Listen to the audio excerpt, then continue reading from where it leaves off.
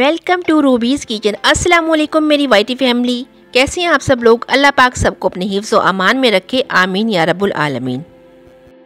आज हम बनाएँगे बहुत ही सस्ता और बहुत ही आसान मीठा झटपट से बन जाने वाला। तो चलिए स्टार्ट करते हैं। वन के जी मैंने फ्रेश मिल्क ले लिया है। आप डब्बे वाले दूध के साथ भी इसे बना सकते हैं। थोड़ी सी दूध में हम एक चम्मच कॉर्नफ्लोर का मिक्स करेंगे। कॉर्नफ्लोर की जगह आप अगर पसंद करते हैं कस्टर्ड का फ्लेवर तो आप कोई भी कस्टर्ड का फ्लेवर एक चम्मच इसमें मिक्स करके शामिल कर सकते हैं। तो मुझे कस्टर्ड का फ्लेवर इतना पसंद नहीं है, मैं कॉर्नफ्लोर यूज़ कर रही हूँ।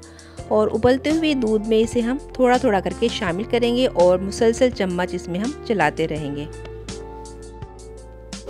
शुगर शामिल करेंगे। शुगर आप अपने टेस्ट के अकॉर्डिंग शामिल कर सकते हैं। मैंने हाफ़ कप इसमें शामिल किया शुगर का। और ड्राई मिल्क शामिल करेंगे। ये चार चम्मच ड्राई मिल्क के हैं। ड्राई मिल्क को कभी भी डायरेक्ट आप यूज़ नहीं कीजिएगा। इसमें थोड़ा सा पानी या फिर दूध में इसको अच्छे से मिक्स करके फिर आप इसको डालिएगा। मैंने तीन अदद इलायची शामिल कर लिए और ड्राई मिल्क में मैंने दूध मिक्स करके फ्रेश मिल्क वो मैंने शामिल कर दिया और इसको पकाएँगे। इसको हमने बहुत ज़्यादा गाढ़ा नहीं रखना क्योंकि हमने इसकी लेयर लगानी है। ये ना हो कि आप बहुत ज़्यादा थिक कर लें और फिर लेयर लगाते हुए आपको मसला है क्योंकि हमने ब्रेड को सॉफ्ट करना है इससे। तो चलिए हम चॉकलेट सीरम अपना रेडी कर लेते हैं। उसके लिए मैंने एक कप दूध का लिया है और उसमें हाफ़ कप चीनी शामिल कर दी है और एक बड़ा चम्मच खाने वाला वो भर के हम इसमें चॉकलेट पाउडर का शामिल करेंगे। कोको पाउडर का अच्छे से मिक्स कर लेंगे। ये तमाम चीज़ें मैं इस पर चूल्हे पे रखने से पहले मिक्स कर रही हूँ। दूध, चीनी और कोको पाउडर तीन चीज़ें हमने शामिल कर ली हैं इसमें।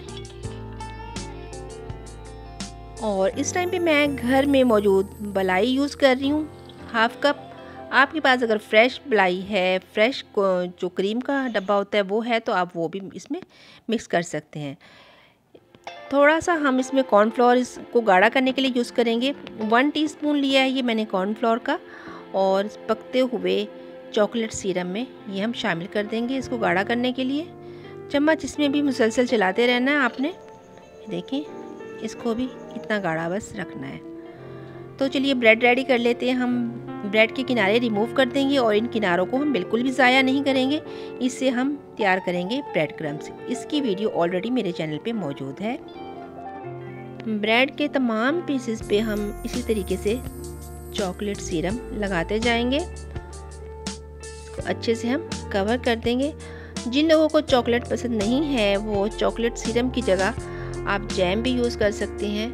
घर में मौजूद जैम या कोई और भी फ्लेवर जो आपको पसंद है, वो इसमें आप लगा सकते हैं। और अगर आपको ड्राई फ्रूट पसंद है तो यूज़ कर लीजिए और नहीं पसंद तो स्किप भी कर सकते हैं। मैंने थोड़े थोड़े बादाम इसमें स्प्रेड किए हैं। तो चलिए तमाम पीस हम इस तरीके से रेडी कर लेंगे।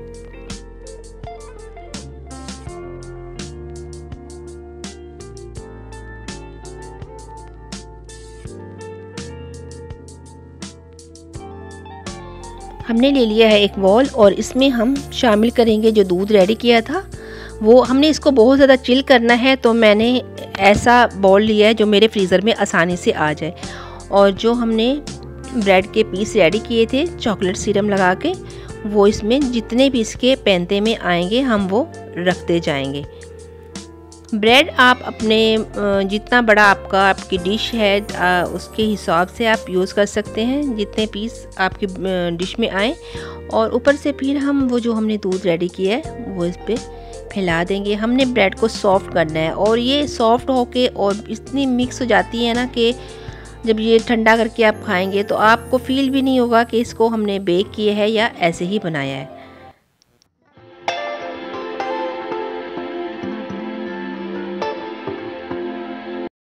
अगर आपको चॉकलेट ज़्यादा पसंद है तो इस पर एक लेयर के बाद दूसरी दफ़ा भी आप चॉकलेट का इसके ऊपर से लेयर लगा सकते हो। जैसे मैं ये दूध फैला रही हूँ इसके ऊपर से बना हुआ, इसकी जगह आप चॉकलेट सीरम भी इसके ऊपर स्प्रेड कर सकते हो, जो बहुत ज़्यादा चॉकलेट पसंद कर करते हैं। ये उनके लिए है। अच्छा तो अब हम इसके ऊपर, हमें बिस्किट चाहिए। कुछ मैंने बिस्किट ले लिए थे तो बिस्किट मेरे कम पड़ गए थे। दो मैंने रोल बिस्किट के लिए थे तो वो ज़रा कम पड़ गए थे, क्योंकि इसको बहुत अच्छे से हमने कवर करना था। साइडें जो खाली थी, सारा बिल्कुल हमने इसको केक की शेप देनी थी। तो मैंने कुछ इसमें रस यूज़ किए हैं। रस लेके मैंने उनको बारीक मैंने उनको चूरा बना लिया था। और ऊपर से हमने इसके चॉकलेट सीरम जो हमने रेडी किया है, वो हमने शामिल कर दिया है। दो तीन घंटे के लिए मैंने फ्रीज़र में रखा है और उसके बाद मैंने ये निकाला है। तो चलिए हमने विपिंग क्रीम ले ली है जी। आपके पास विपिंग क्रीम नहीं है तो जो आम क्रीम का डब्बा मिलता है, आप उसी में एक सुराख करके या उसे पॉलीथीन बैग में डाल के उससे भी हल्की हल्की डिज़ाइनिंग कर सकते हैं। किसी भी तरीके से, बस जो डिज़ाइन आपको अच्छा लगे, उसी तरीके से इसको डेकोरेट कर लीजिए। ये देखिए, मैंने बस, मेरे पास टाइम बहुत कम था, इतनी जल्दी में मैं ऐसा ही इसको जल्दी जल्दी डेकोरेट कर सकी। अगर फुर्सत से बनाएँ तो आप इसको बहुत अच्छा डेकोरेट कीजिएगा। और इसको ठंडा करके फिर आपने इसको खाना है। तो कैसी लगी व्यूवर्स आपको हमारी आज की ये झटपट और आसान सी ये रेसिपी इसी के साथ मुझे इजाज़त दीजिए। दुआ में अपनी बहन को याद रखा करें। इन मिलते हैं नेक्स्ट वीडियो में। अल्लाह हाफिज़।